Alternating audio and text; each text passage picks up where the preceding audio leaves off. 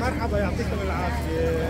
نحن هلا عم نشترك عم نحتفل بهذا الاحتفال العالمي للمطاعم من كل دول العالم. ولبنان شارك فيها ونشكر رئيس بلدية بايوغلو إنه فتح المجال لنعرض المطبخ اللبناني. وأيضا شركة Middle East لنسوق للسياحة في لبنان.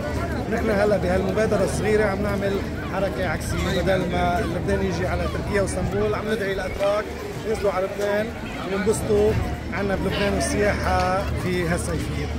وبترك المجال أيضا كمان شرفنا عضو المجلس البلدي في مدينة طرابلس اللي اجى بهالزيارة. فبترك الكلام لهلا اولا بنهني نفسنا وبنهني القنصليه اللبنانيه على هالفعالية الحلوه إنها شاركت بهالمهرجان الدولي الضخم اللي يعد لاول مرة بإسطنبول مهرجان بيغلو طريق الثقافه واللي كان للبنان بعده مجالات منه لهالمهرجان تمثيل واجمله هالمهرجان اليوم اللي عم نشوفه بمجال الطعام.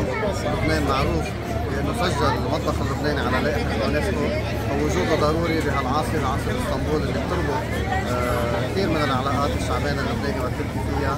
واليوم وجود مطعم الحلاب ووجود طيران مثل هون هو أيضا تمثيل للصوره الحلوة للبنان بوسط عاصمة السياحة. اسطنبول شاركنا بالمهرجان اللي دعانا عليه رئيس بلدية بايوغلو السيد أحمد علي يلدز.